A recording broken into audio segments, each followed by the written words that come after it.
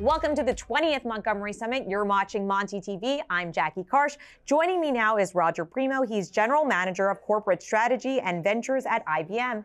Roger, thank you so much for sitting down with me. Great to be back. There's been a little bit of a stall in the market, and you know, with all the uncertainty, are you still seeing that growth in the technological sector? So for IBM, we're a business-to-business technology company. So I think if you look at the B2C side, there's really been a slowdown because there's a lot of consumers at the end of the day that are dealing with this economic downturn and there's less money to spend. On the enterprise sector, the B2B sector, you see the opposite effect. You see companies facing uncertainty, the financial crisis, potentially a recession, geopolitics, so many things going on. And they're investing in technology as the solution to that challenge. So on the B2B side, we continue to see a lot of activity and we continue to see a lot of growth.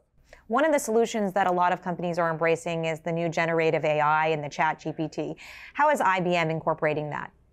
So first of all, I'll say that we've been working on uh, generative AI or uh, you know foundation models for a number of years now. We put the first foundation model in a product two years ago in 2021, and so you'll see us continue and inject foundation models to extend products that we're already in. So if it's in security, if it's in IT operations, if it's in customer care, if it's in process automation, you'll continue to see us put more and more foundation models.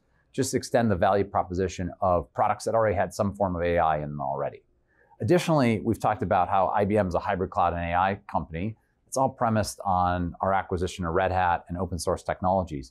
That same technology stack is where those foundation models are both trained and then the inference to actually run them for, for the enterprises on top of that same stack as well. So you'll see us building the tool set and stack to help companies adopt those foundation models to put them to work in their business. That's good to hear. Now, IBM also has committed to some sort of sustainability goals. Um, can you tell me where you are with that?